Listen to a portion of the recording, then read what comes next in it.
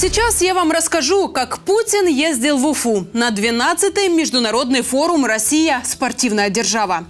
Школьников перед визитом Путина отправили на два дня на дистанционное обучение. Движение в городе перекрыли. А в месте, где должен был проезжать его кортеж, нельзя было даже пройти пешком. Одна из жительниц попыталась перебежать мост, но полицейский повалил ее на асфальт и скрутил руки. По словам жителей, силовик избил ее. Предлагаю посмотреть это видео. Ну зачем он ее бьет-то? Она на чем убегает? Знаете, Ну домой хочет женщина. Ребенка все. Тут, Зачем он ее э, бьет-то? Пусть задержит, пусть наручники оденет. короче, она хотела перебежать туда. Они, слышь!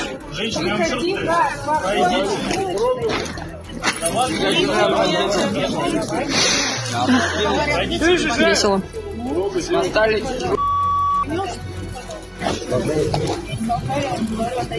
По словам очевидцев, жительница города торопилась домой после работы, как и мы все.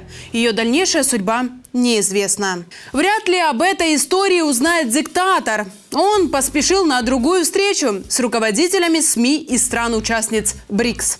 Модерировал встречу пропагандист Дмитрий Киселев. Какие приметы этих перемен и какие возможности они дают для БРИКС?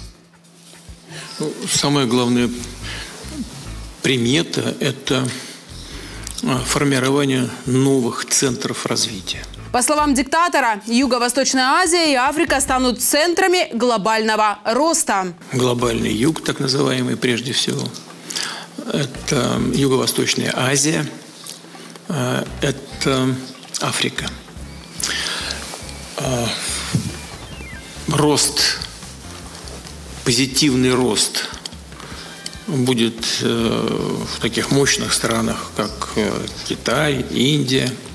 Позитивный рост будет в э, России, Саудовской Аравии. Говорит, мол, США лет на 15 опоздали и не смогут остановить развитие Китая, как невозможно остановить восход солнца. Интересно, а что остановило в развитии саму Россию?